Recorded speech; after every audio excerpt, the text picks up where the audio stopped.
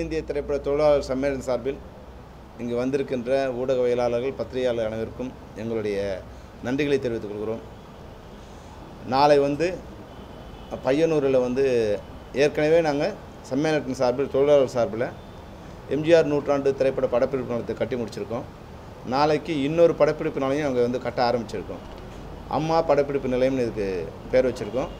இதுக்கு அரசு வந்து அஞ்சு கோடி ரூபா நிதி உதவி வழங்குறதா ஏற்கனவே அறிவிச்சிருந்தாங்க. அதனோட முதல் தவணையாக ஒரு கோடி இப்போ வழங்கியிருக்காங்க. அதற்கான அடிக்கல் நாட்டு விழா வந்து நாளைக்கு கா நண்பகல் பன்னிரெண்டு மணிக்கு தொடங்க இருக்குது. இதை வந்து நம் தமிழக முதல்வர் வீடியோ கான்ஃபரன்சிங் மூலம் நாளைக்கு பன்னெண்டு மணிக்கு இதை வந்து அடிக்கல் நாட்டுறார். இது இதுக்கு வந்து எங்களுடைய துறை அமைச்சர் திரு கடம்பூர் ராஜர் வந்து நே நேரடியாக வந்து பையனூர் வந்து அந்த அடிக்கல் நாட்டுறாரு. இந்த விழாவுக்கு வந்து Thiru Bhagyaraj Thiru P C Sriram Thiru R B Udhayakumar அவங்களோட அவங்க முன்னிலை வகிக்க வாழ்த்துறையா Thiru Bharathi Raja Thiru Nassar Thiru V C Guhanathan Thiru Radha Ravi Thiru Liaquat Ali Khan Thiru Manojkumar Thiru Perarasu Thiru Thanu Thiru T Siva.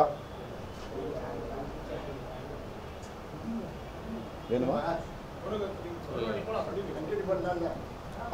அம்மா Krishnan Siva distributor association president Thiru Arulpathi exhibitor theatre owner owners association Thiru Abirami Ramanathan Thiru Panneerselvam distributor association president Thiru Tiruppur Subramanian கல்வியலாளர் Thiru AR Dharmalingam. இவங்க வாழ்த்துறை வழங்குறாங்க. மற்றபடி எங்களுடைய நிர்வாகிகள் அனைவரும் இதில் கலந்துக்கிறாங்க. இருபத்தி ரெண்டு சங்கங்களும் சேர்ந்து நாளைக்கு இந்த அடிக்கல் நாட்டு விழாவை நாங்கள் பெருமகிழ்ச்சியோடு துவங்க இருக்கிறோம். இதுக்கு வந்து ஒரு அதாவது வந்து இதை ஒரு மின்னல் வேகத்தில் இந்த ப்ராஜெக்டை கட்டி முடிக்கணும்னு நாங்கள் பிளான் பண்ணியிருக்கோம். ஏற்கனவே வந்து ஒரு ஆறு மாதம் வேறு வேறு காரணங்களால் லேட் ஆகிடுச்சு இருந்தாலும் டோட்டல் ப்ராஜெக்ட் இதுக்கு ரெடியாக இருக்கிறதால ஏற்கனவே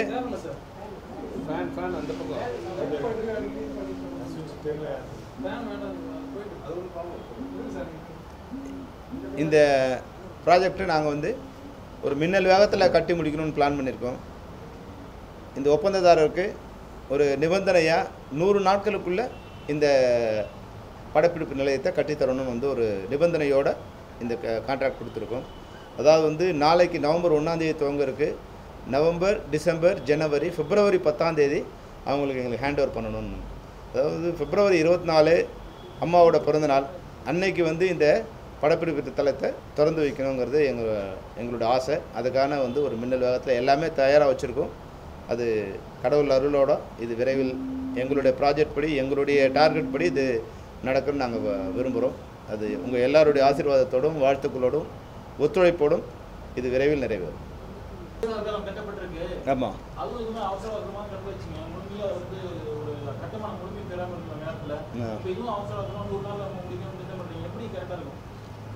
அவசர அவசரமாக திறந்து வைக்கல. அது வந்து வெகு பத்து வருஷமாக பிளான் பண்ணி கட்டு கட்டினோம்.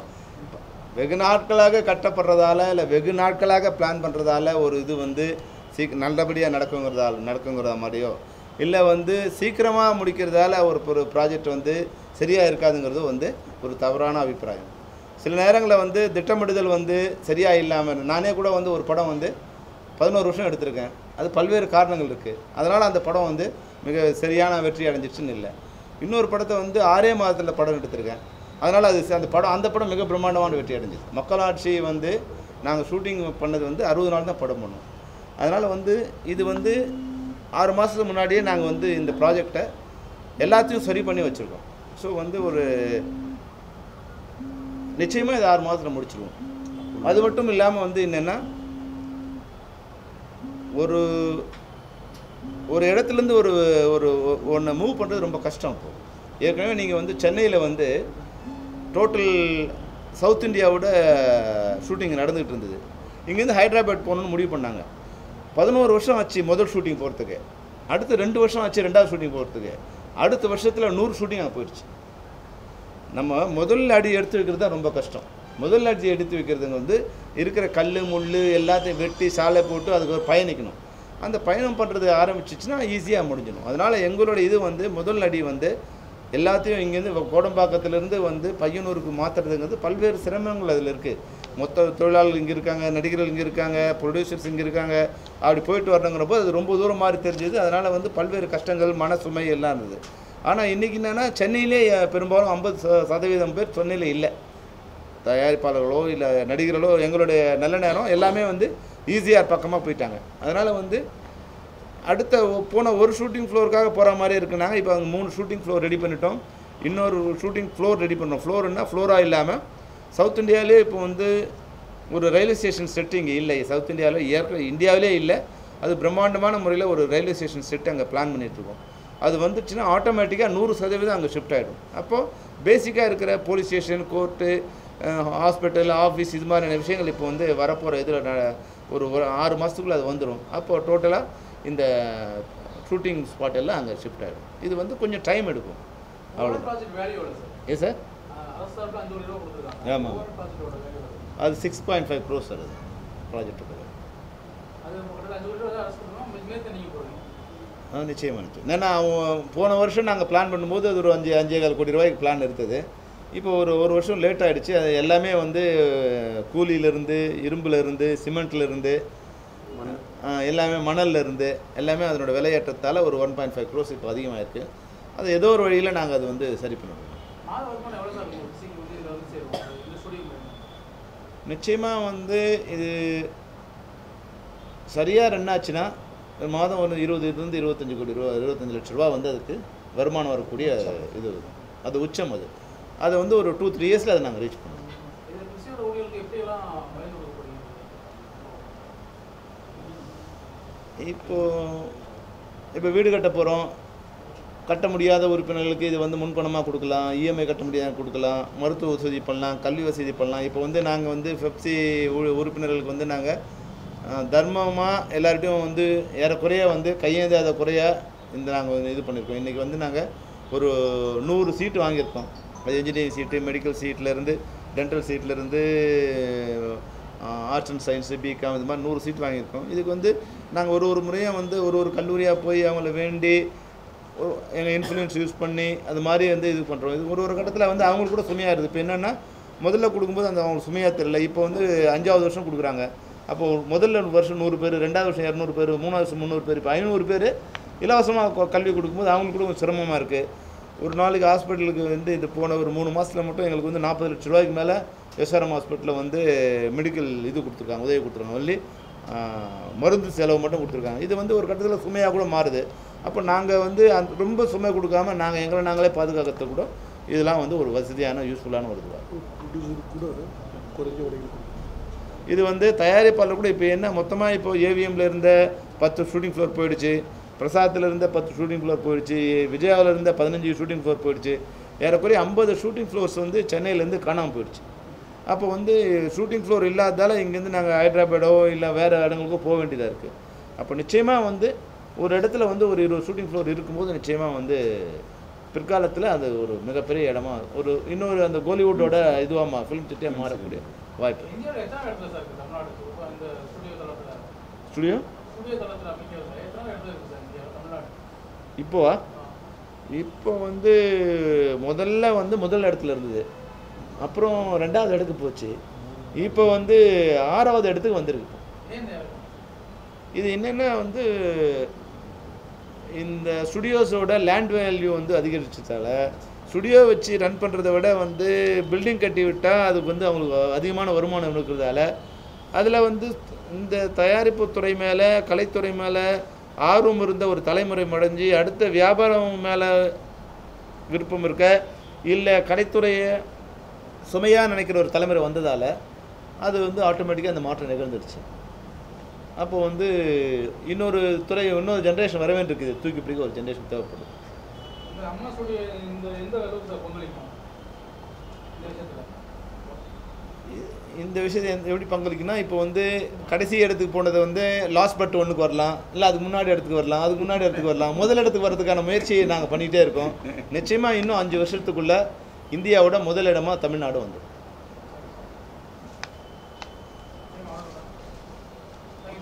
இன்றைக்கி இன்னைக்கு வந்து இன்னொரு விஷயம் வந்து உங்களோட பகிர்ந்து விரும்புகிறோம் ஆமாம் ஆமாம் அது விஷயமா இன்றைக்கி வந்து நாங்கள் ஏற்கனவே வந்து டிஃபென்ஸ் மினிஸ்டராக இருந்தபோது மேடம் நாங்கள் மீட் பண்ணோம். அப்போ ஃபிம் எம்ப்ளாயீஸ் ஃபெடரேஷன் சார்பாக ஒரு ரெக்வஸ்ட் மனு அவங்க கொடுத்தோம் அவங்க இவன் இவன் அவங்க வந்து டிஃபென்ஸ் மினிஸ்டராக இருந்தால் கூட நமக்கு கம்யூனிகேட் பண்ணுறதுக்கு வந்து வசதியாக இருக்கிறதால வந்து அவங்க ஒரு தமிழராக இருக்கிறதால நாங்கள் வந்து ஒரு வேண்டுகோள் கடிதம் கொடுத்துருந்தோம். அதாவது என்னென்னா இப்போ கேரளாவில் வந்து அறுபது வயதுக்கு மேலே இருக்கிறவங்களுக்கு வந்து ஓய்வூதியம் கொடுக்குறாங்க. அந்த அரசு வந்து கொடுக்குது. அப்போ அதுபோல் வந்து மத்திய அரசு திரைப்படத்துறையை சேர்ந்த கலைஞர்களுக்கும் தொழில்நுட்ப கலைஞர்களுக்கும் ஓய்வூதியம் கொடுக்கணும். அப்படிங்கிற ஒரு வே- ஒரு வேண்டுகோள் கொடுத்துருந்தோம். அவங்க அது வந்து உடனே அன்றைக்கி நல்லா ரியாக்ட் பண்ணாங்க. டெல்லிக்கு வர சொல்லி அதெல்லாம் மீட் பண்ண சொன்னாங்க. ஆனால் அதுக்கப்புறம் எலெக்ஷன் வந்துட்டதால் அது வந்து எலெக்ஷன் ப்ராசஸ் ஆகிடுச்சு அதை இப்போ இன்றைக்கி போயிட்டு அதை ஞாபகப்படுத்தி இன்றைக்கி நம்மளோட நல்ல நேரம் அவங்க வந்து ஃபைனான்ஸ் மினிஸ்டராக இருக்கிறதால நாங்கள் அவர்கிட்ட போய் எங்களுடைய அந்த கடிதத்தை ரிமைண்ட் பண்ணி இன்னொரு கடிதம் கொடுத்துருந்தோம்.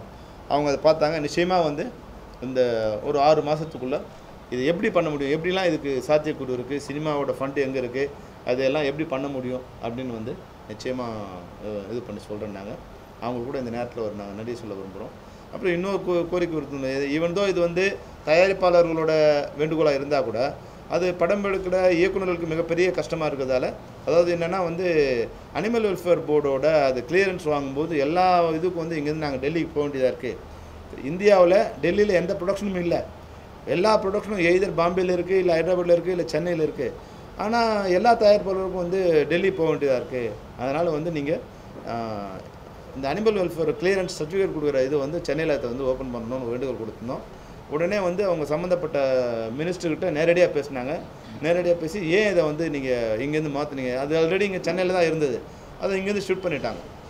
அப்போ வந்து அவங்க இல்லை இல்லை ஆன்லைனில் பண்ணிட்டோமா? அதனால் ஷூட் பண்ணோன்னாங்க ஆன்லைனில் பண்ணால் கூட வந்து சென்னையில் இருக்கலாமே அதில் உங்களுக்கு என்ன கஷ்டங்கிற மாதிரி அவங்க நான் டிஸ்கஸ் பண்ணாங்க. அப்புறம் அவருங்க எங்கள் முன்னாடியே அவர்கிட்ட வச்சுக்கிட்டு அப்பாயின்மெண்ட் ஃபிக்ஸ் பண்ணாங்க. நாலாந்தேதி நீங்கள் நானும் வரேன் நீங்களும் வாங்க எங்கள் மெம்பர்ஸும் வர சொல்கிறேன் அங்கே உட்காந்து ஒரு நல்ல முடிவு கொடுத்துருங்க. இவங்க வந்து இதுக்காக வந்து ஆன்லைனில் இது பண்ணால் கூட வந்து அதை கோரிஸ் வரும்போது அந்த இன்ஃப்ளூயன்ஸ் பண்ண வேண்டியதாக இருக்குது அது லாங்குவேஜ் தெரியாமல் ரொம்ப கஷ்டமாக இருக்குது அப்படின்னு வந்து அந்த வேண்டுகோளை கொடுத்தோம். அது நிச்சயமாக வந்து நீங்கள் நாலாந்தேதி எங்களை வர சொல்லியிருக்காங்க. தயாரிப்பாளர்கிட்ட நாங்கள் அந்த விவரத்தை சொல்லியிருக்கோம். ஒரு மூணு தயாரிப்பாளர்கள் ரெண்டு இயக்குனர்கள் அதை போய் அன்றைக்கி உட்காந்து பேசி அதை சென்னைக்கு வரதுக்கு உண்டான திட்டத்தை எடுக்கும் அதனால் ஆமாம் ஆமாம். ஆமாம் அவங்களுக்கு இந்த நேரத்தில் நாங்கள் வந்து நன்றி சொல்ல விரும்புகிறோம் அதுபோல் வந்து இந்த ஆன்லைன் டிக்கெட்டிங் கூட வந்து தமிழ்நாடு மட்டும் இல்லாமல் இந்தியா முழுக்க அதாவது வந்து உலகத்திலேயே அதிக எண்ணிக்கையிலான திரைப்படங்களை வந்து தயாரிப்பது இந்தியா. ஆனால் அது வந்து ஒரு முழுமையான தொழிலாக இல்லாமல் இருக்கிறதுக்கு காரணம் அதில் வந்து ஒரு வழிமுறை இல்லாமல் இருக்கிறது தான். அதனால் இதை வழிமுறைப்படுத்தணும்னா ஒரு வழி பண்ணாவே மொத்தமாக இது வந்து இண்டஸ்ட்ரியாக மாறக்கூடிய வாய்ப்பு இருக்குது இதை வந்து அரசாங்கத்துக்கு என்ன லாபம் இருக்குங்கிறத அவங்களுக்கு எடுத்து சொல்லி ஆன்லைன் டிக்கெட்டுங்க. தமிழ்நாடு மட்டும் இல்லை இந்தியா முழுக்க இதை வந்து ஆன்லைன் டிக்கெட்டுங்க கொண்டு வரணுங்கிறத சொன்னோம். அவங்க வந்து அது ரொம்ப நேரம் விசாரித்தாங்க அது அதில் இருக்கிற அவங்க செகண்ட் டிக்கெட் லைனில் வந்தாங்க. அப்புறம் அவங்க வர சொல்லி டிஸ்கஸ் பண்ணாங்க. எப்படிலாம் பண்ணால் இது சரியாக இருக்கும்னு விசாரித்தாங்க அப்போ இதெல்லாம் பண்ணால் சரியாக இருக்கும் அப்படின்னாங்க. நிச்சயமாக அது வந்து வித்தின் சிக்ஸ் மந்த்ஸுக்குள்ளே இந்தியா முழுக்க ஆன்லைன் பண்ணுறதுக்கு நாங்கள் நடைமுறை பண்ணுறதுக்கு நாங்கள் முயற்சி எடுக்கிறோம்னு சொல்லியிருக்காங்க. அதுக்கும் நன்றி. அதுபோல் வந்து ஜிஎஸ்டியால் எங்களுக்கு வந்து என்ன மாதிரியான பாதிப்புலாம் இருக்குன்னு சொன்னோம். அவங்க கொஞ்சம் கேட்டாங்க ஏன் என் எங்கிட்டயே எல்லாம் கேட்குறீங்களே உங்கள் மெம்பர்ஸ்லாம் இருப்பாங்களே நீங்கள் அவங்ககிட்ட கேட்கலாமே உங்கள் மந்திரி இருக்காங்களே அவங்ககிட்ட கேட்கலாமேன்னாங்க. எல்லார்ட்டும் கேட்டுகிட்டே இருக்கோம் மேடம் நாங்கள் தொடர்ந்து கேட்டுருக்கோம் அவங்க பன்ன பதினெட்டுலேருந்து பன்னெண்டு கொஸ்டின் சொல்கிறாங்க ஆனால் இது வந்து என்னென்னா டேக்ஸுங்கிறது வந்து விற்கிற பொருளுக்கு டேக்ஸ் வாங்கணும். தயாரிக்கிற பொருளுக்கெல்லாம் டேக்ஸ் வாங்குனீங்கன்னா அது வந்து அந்த இண்டஸ்ட்ரி அழிஞ்சு போயிடும். அதுதான் இப்போ மெயின் ப்ராப்ளமாக இருக்குது எப்படின்னா ஒரு படம் தயாரிப்பாளர் எடுக்கும்போது அவங்க என்ன சொல்கிறாங்க இன்புட் வந்து சேர்ந்துரும் படம் தேட்டரில் கலெக்ஷன் வரும்போது அந்த இன்புட் வந்து உங்களுக்கு வந்துடுங்கிறாங்க ஆனால் அந்தந்த மாதம் இன்புட் க்ளோஸ் பண்ணிட்டே வரும்போது படம் ஒரு வருஷம் கழிச்சு ரிலீஸ் ஆகுது அப்போ ஒரு படம் ஓடலைன்னா கூட ஐம்பது கோடி ரூபாயில் ஒரு படம் எடுக்கிறாங்க. அதுக்கு பதினெட்டு பர்சன்ட் உங்களுக்கு வந்து டேக்ஸ்னால் ஏறக்குறைய வந்து ஒம்பது கோடி ரூபா டேக்ஸ் கட்டி ஆகணும். அப்போ அந்த படத்தை ஒம்பது கோடி எப்போ ரீ ரீஃபண்ட் வரும்னா படம் தேட்டரில் ஓடி அந்த ஐம்பது கோடி ரூபா கலெக்ட் பண்ணும்போது அவங்க ஜனங்கிட்ட கலெக்ட் பண்ணுற டேக்ஸ்லேருந்து இன்புட் வரும். சில பல படங்கள் வந்து நூற்றுக்கு தொண்ணூறு சதவீத படங்கள் ஓடுறதே இல்லை. ஆனால் ஓடாத படங்களை போய் எங்கே டேக்ஸ் கலெக்ட் பண்ணுறது நாங்கள் சொன்னோம் படம் ஓடும்போது டிக்கெட்டில் டேக்ஸ் கலெக்ட் பண்ணுங்கள் படம் எடுக்கும்போதே டேக்ஸ் கலெக்ட் பண்ணிங்கன்னா இது மிகப்பெரிய சுமையாக இருக்கணும். இதை வந்து யாரும் எங்கிட்ட சொல்லலைன்னாங்க நாங்கள் எங்கள் கவுன்சில் சொல்லணும். அதை வந்து உங்கள் உங்கள் கவுன்சில் யாரும் இதை வந்து எங்களுக்கு ரெஃபர் பண்ணலன்னாங்க ரெஃபர் பண்ணாங்களோ இல்லையோ இதை நீங்கள் கொஞ்சம் எங்களுக்கு ஹெல்ப் பண்ணுங்கன்னு சொன்னோம். அது சம்மந்தப்பட்ட மாநில அதிகாரிகளோடு கலந்து பேசி இதுக்கு ஒரு நல்ல முடிவு கொடுக்குறோன்னு சொல்லியிருக்காங்க. அதுக்கும் அவங்களுக்கு ஒரு நன்றி. சீக்கிரம் மேலும் ஒன்று சொன்னோம். அதாவது வந்து மத்திய மாநில அரசுகள் சேர்ந்து இந்த சினிமா துறையை காப்பாற்றுங்க இது வந்து ஒரு வளங்குழிக்கிற துறை. நிச்சயமாக இதில் வந்து இந்த தொழிலை பண்ணால் நஷ்டப்பட வேண்டிய அவசியமே இல்லாத ஒரு துறை. ஆனால் நூறு சதவீதம் நஷ்டம் வந்துகிட்டே இருக்குது இதில் அப்படிங்கிறத நான் ஒரு விளக்கமாக சொன்னேன். அப்போ அவங்க சொன்னாங்க இது எல்லாரோட சேர்ந்து ஒரு மீட்டிங்கை இது பண்ணுறோம் கால் ஃபார் பண்ணுறோம் முக்கியமாக நாங்கள் வந்து இன்றைக்கி அவங்களை எதுக்கு இது பண்ணணும்? இந்த ஃபெஃப்சியோட ஐம்பதாவது வருஷம் முடிஞ்சிருக்கு. பொன்விழா நடக்குது. இந்த பொன்விழா மிகப்பெரிய விழாவாக கொண்டாடணும் இதுக்கு வந்து பிரைம் மினிஸ்டர் இன்வைட் பண்ண போகிறோம் நீங்களும் கலந்துக்கணும்னு கேட்டோம் நிச்சயமாக கலந்துக்கணும்னு சொன்னாங்க. இதுதான். இது நாங்கள் போன நோக்கம் அதுதான். அதனால் அது வந்து. அப்போ ஒரு சின்ன வருத்தத்தை அவங்க வெளியிட்டாங்க. எல்லாத்தையும் கேட்குறீங்க ஆனால் வந்து நீங்கள் எங்களுக்கு நீங்கள் ஓட்டே போகிறது இல்லையாண்டாங்க நாங்கள் சொன்னோம் அதுக்கு நாங்கள் என்னங்க பண்ண முடியும்? நீங்கள் தானே முடியும். அது ஓட்டு போட வேணாம் ஆனால் நீங்கள் வந்து தனி மனித விமர்சனம் பண்ணுறீங்க அது திரைப்படத்துறையை சேர்ந்த ரெண்டு பேர் வந்து ஏதோ சொன்னதாக சொன்னாங்க. அதாவது வந்து என்னென்னா என் ஜாதியை சொல்லி அவங்க வந்து எனக்கு கே- விமர்சனம் பண்ணியிருக்காங்கன்னாங்க. அது எங்கள் நாலேஜுக்கு வரலன்னு சொன்னால் அவங்க வந்து அவங்க வருத்தத்தை பதிவு பண்ணாங்க. என்னை வந்து பாப்பாத்தி ஊருகா போடுறா அப்படிலாம் வந்து கேட்கும்போது அதுக்கும் இதுக்கு என்ன சம்மந்தம் இருக்குது ஜாதிக்கும் அரசியலுக்கும் என்ன சம்மந்தம் இருக்குது அப்படின்னு வருத்தப்பட்டாங்க. நாங்கள் சொன்னோம் வந்து நிச்சயமாக எங்கள் திரைப்படத்துறையில் பல்வேறு அரசியல் கட்சி இருக்காங்க. எங்கள் திமுக இருக்காங்க அண்ணா திமுக இருக்காங்க. காங்கிரஸ் இருக்காங்க பிஜேபி இருக்காங்க கம்யூனிஸ்ட் இருக்காங்க. ஆனால் யாருமே வந்து அந்த தரம் தாழ்ந்து விமர்சனம் பண்ணுறதில்ல சொல்லும்போது ஒருத்தர் ரெண்டு பேர் சொன்னது எங்களுக்கு சொன்னாங்க. நாங்கள் நிச்சயமாக வந்து எங்கள் உறுப்பினருக்கு சொல்கிறோம் ஏன்னா ஒரு உறுப்பினர் வந்து விமர்சனம் பண்ணும்போது அந்த உறுப்பினர் பண்ணார். இப்போ செல்வமணி பண்ணார்னா செல்வமணி பண்ணார்னு யாரும் சொல்கிறதில்ல சினிமா டைரக்டர் பண்ணார் டைரக்டர் செல்வமணி டைரக்டர்னு சொல்லும்போது சினிமா மேலே சேர்ந்து ஒரு வருத்தம் வருது. அதனால் எங்கள் உறுப்பினருக்கு நாங்கள் ஒரு வேண்டுகோள் வைக்கிறோம். திரைப்படத்துறையை சேர்ந்தவங்க திரைப்ப அரசியலில் இருந்தாங்கன்னா விமர்சனம் பண்ணும்போது தரம் தாழ்ந்தோ ஜாதியின் பேராலோ மதத்தின் பேராலோ இனத்தின் பேராலோ இல்லை உருவத்தின் பேராலோ இந்த தர தாழ்ந்த விமர்சனம் பண்ணக்கூடாதுங்கிறத இந்த நேரத்தில் எங்கள் உறுப்பினர்களும் எங்கள் துறை சார்ந்த பெரியவங்களுக்கு கூட நாங்கள் ஒரு வேண்டுகோள் வைக்க விருப்பணும். ஏன்னா உங்களோட நீங்களாம் இதில் வாழ்ந்துட்டு போயிட்டீங்க இல்லை வாழ்ந்துக்கிட்டு இருக்கீங்க. இதில் கோபம் வந்தால் உங்களை யாராலும் அடிக்க முடியாது. ஆனால் அடிக்கணும்னு நினச்சாங்கன்னா பாதிக்கப்படுறது வந்து சின்னவங்க தான் அதில் அடிபடுவாங்க. அதனால் தயவுசெய்து விமர்சனம் பண்ணும்போது தனி மனித விமர்சனத்தை தவிர்த்து இனம் சார்ந்த ஜாதி சார்ந்த மதம் சார்ந்த விமர்சனத்தை தவிர்த்துட்டு அரசியல் சார்ந்த விமர்சனங்களை பண்ணணுங்கிறது திரைப்படத்துறை சேர்ந்த அரசியலில் இருக்கிற கலைஞர்களுக்கு சம்மேளனத்தின் சார்பில் எங்களோட வேண்டுகோள் வைக்க வேண்டும். இப்போ சொல்லியிருக்கோம் இனிமேல் பண்ணால் நாங்கள் அவங்க எங்கள் பாதிப்பை சொல்லுவோம் அவங்களுக்கு. உங்களால் எங்களுக்கு பாதிப்பு வருதுன்னு சொல்லுவோம். டைரக்டர் செல்வமணி பண்ணாருன்னு சொல்கிறது இல்லை. டைரக்டர் செல்வமணி பண்ணார்னு தான் சொல்கிறாங்க அப்போ டைரக்டர் செல்வமணி அடிக்கும்போது சினிமா மேலே அவங்களுக்கு ஒரு கோபம் வருது. அப்போ சினிமாவுக்கு பாதிப்பு வருது. அதனால் சினிமாவுக்கு பாதிப்பு வர்ற மாதிரி நீங்கள் அவங்க கருத்து சுதந்திரம் இருக்குது கருத்து சுதந்திரம் எது வேணாலும் பண்ணலாம். ஆனால் தனி மனித வக்கரமான தாக்குதலோ இனம் சார்ந்த மொழி சார்ந்த மதம் சார்ந்த தாக்குதலோ இருக்கக்கூடாதுங்கிறது தான் எங்களோட வேண்டுகோள். அது வேண்டாம் அது நீங்கள் வந்து இல்ல நடிகர்களா இல்ல வந்து அஹ், படத்துல வர காட்சியா இல்ல? நடிகர் படத்தில் வர காட்சியில் தனிப்பட்ட முறையில் வந்து பொது மீட்டிங்கிலோ இல்லை வந்து பே- பேட்டியிலையோ சொல்லும்போது அரசியல் மீட்டிங்லேயோ இல்லை பொது தளங்களில் பேசும்போது அது மாதிரி கருத்துக்களை வெளியிட்டுறாங்க ஊர் அரசியல் போல அரசியல்வாதிகளோ நடிகர் மே- நடிகரோட படம் சில படங்கள் வந்து ஆஹ், தாமதமாகுது சில வசூல் அதுக்கு நீங்கள் என்ன நடக்குது நீ கேட்குற கேள்வி எனக்கு புரியல ஏன் சார் அதாவது இப்ப இப்ப சினிமா துறையை சேர்ந்தவங்க அரசியல்வாதி விமர்சனம் பண்றாங்கன்னு சொல்லி நடவடிக்கை தயாரா இருக்கீங்க ஆனா அதே சினிமா துறையை சில அரசியல்வாதிகள் மிரட்டப்படுறப்ப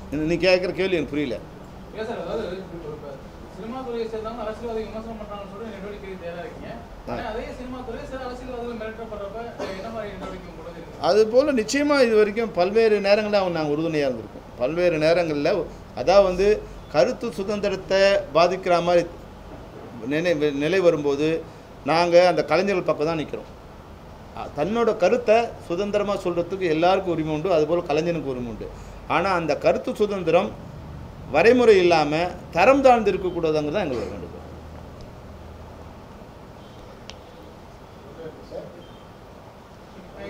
நன்றி நன்றி.